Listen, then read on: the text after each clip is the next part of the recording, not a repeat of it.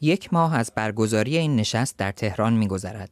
روزی که طالبان مهمان وزیر خارجه ایران بود و همزمان نظامیانش مشغول پیشروی سریع در مقابل نیروهای دولتی افغانستان بودند.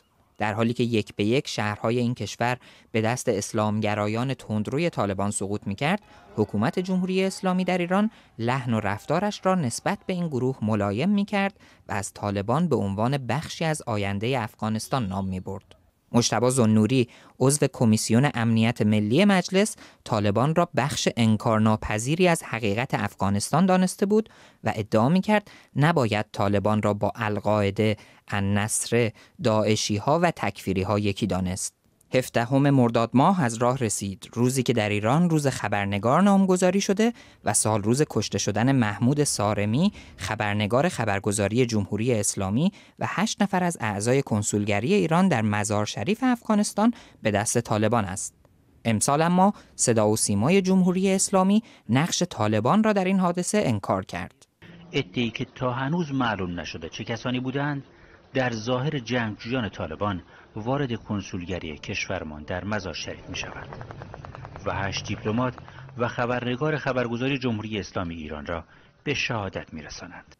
کمی بعد سیامک رحمانی روزنامه نگار و سردبیر روزنامه تماشاگران در توییتی نوشت که وزارت ارشاد به مدیران رسانه ها توصیه کرده از بکار بردن عباراتی چون وحشیگری، جنایت و کلمات مشابه در مورد طالبان پرهیز شود.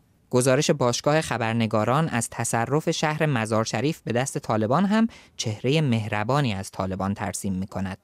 که مردم می تواند به کارهای فرهنگی اجتماعی و ملکی داری خود رسیدگی کند. هیچ موانی برای کار تجارت و زندگی روزمره شهروندان نمی باشد محمد علی اخلاقی باشگاه خبرنگاران جوان مزار شریف.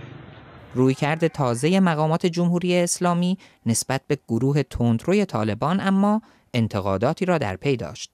آیت الله اسدالله بیات زنجانی با انتشار اطلاعیه‌ای مبارزه با گروه طالبان را یک تکلیف نامیده و به گروه هایی که به گفته او در پی تطهیر طالبان هستند هشدار داد. محمود احمدی نژاد رئیس جمهوری پیشین ایران هم از هشدار دهندگان نسبت به خطر گروه طالبان بود. خب همه می‌دونیم که طالبان یک گروه وابسته بسیار خشن و ضد انسانی است که با کمک بیگانگان به زور اسلحه با کشتار مردم می‌خواد بر افغانستان مسلط بشه. به محض اینکه مسلط بشن با شعار تشکیل خراسان بزرگ تهدیدی جدی رو علیه همسایگان بویژه ایران عزیز شکل خواهند داد. حالا آقای احمدی نژاد می‌گوید به خاطر این حرفها یک مقام ارشد امنیتی او را تهدید کرده است.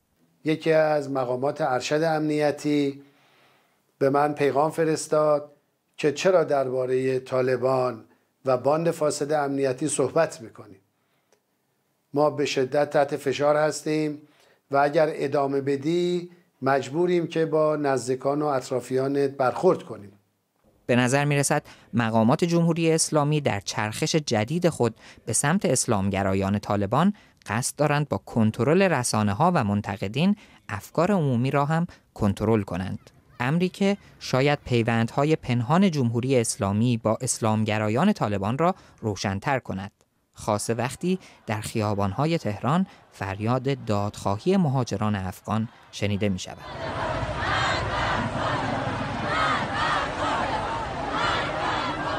مهیار تحماسبی رادیو فردا.